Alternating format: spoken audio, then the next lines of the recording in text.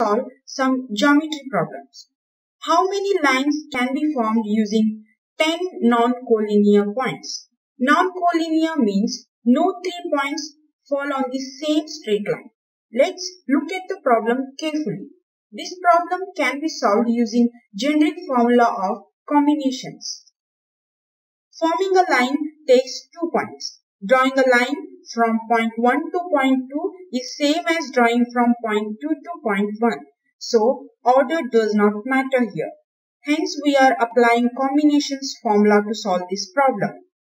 Recall from previous session. Generic formula for finding number of combinations is n factorial over r factorial into in the bracket n minus r factorial. In this problem, available points are 10 and basically you have to select two points to form a line. It is 10C2 which is 10 factorial over 2 factorial into in the bracket 10 minus 8 factorial which is 45. So 45 lines can be formed using 10 non-collinear points. Let's modify the problem. For example, how many triangles can be formed from 10 non-collinear points? Simple answer is 10C3.